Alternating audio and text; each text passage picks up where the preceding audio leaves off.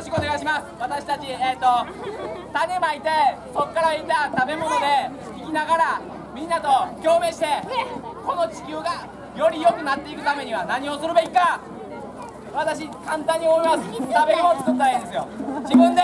自分のもんは自分で。自分のもんは自分でとりあえずね。ちょっとでいい。ちょっとでいい。ほんとちょっとでいい。一粒の種をまくことで何か目覚めます。そうその一粒の種が何かを目覚めさせます。土とつながり目に見えないものと喋り口のない言葉のない者たちと会話するようになります。そうなった時に私たちは感謝する。そして尊敬する。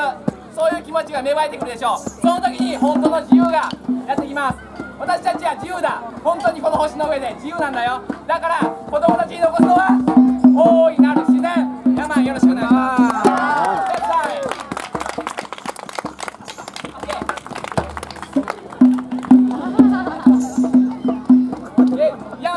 ますイェーイ百姓さんヤマンよろしくお願い。しますよおこの子すごいな。ドラマやな。一緒にやろう。こっち向いてやった方がいいよ。みんなが喜ぶ。いくよ。神様ありがとう。